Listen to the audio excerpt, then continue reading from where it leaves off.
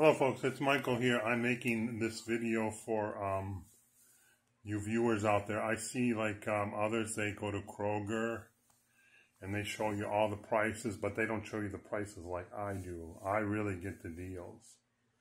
So like, what's her name? One day at a time and Dan the man. So I'm going to show you the deals that I got at Kroger.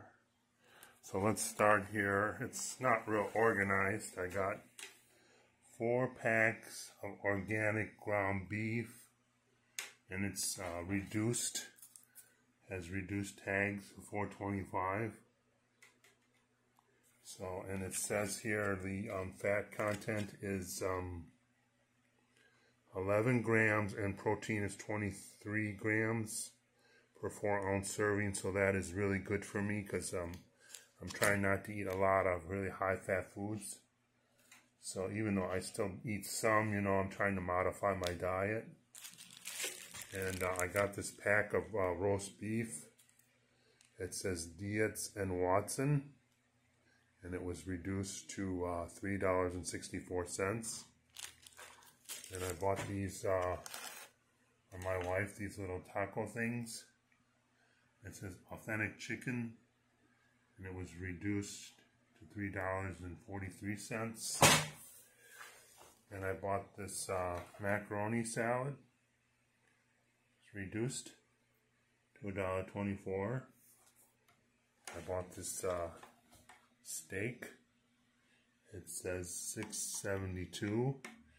It says 8 grams of fat and protein.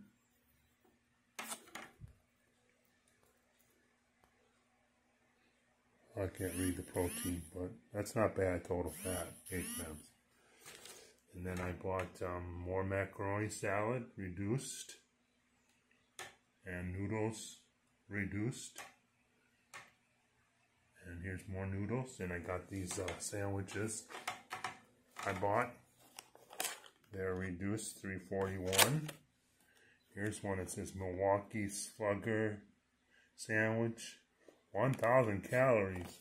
Oh, that's a little high. Have to eat half at a time. It's reduced 313. And I bought this other one sandwich. It's a ham sandwich. It was uh, reduced 341. And here's a roast beef sandwich. Reduced 341.